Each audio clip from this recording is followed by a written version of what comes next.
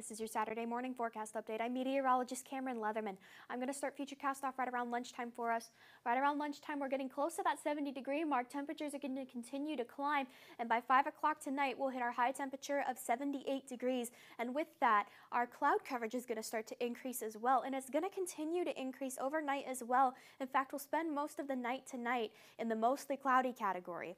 Then tomorrow morning, when you're waking up around 6 a.m., We'll be at 52 degrees. That'll be our low temperature, but not to worry. We're going to climb up to the 80 degree mark tomorrow. It's going to be a nice end to your Memorial Day weekend. And here's the rest of your 10 day forecast.